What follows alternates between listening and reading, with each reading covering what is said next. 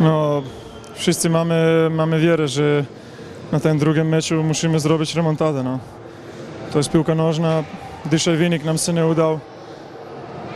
Nie wiem dlaczego tak tracimy bramki, ale nie wiem, mieliśmy też okazję w tej drugiej połowie, że, żeby ten wynik był inaczej, ale mieć z głowy gołe góry i zabrać się na, na następny mecz w niedzielę.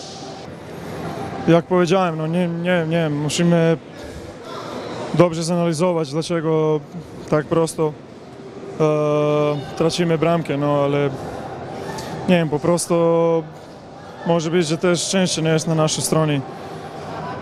Walczymy, wszystko daliśmy od siebie i, i tak będzie też na następnym meczu.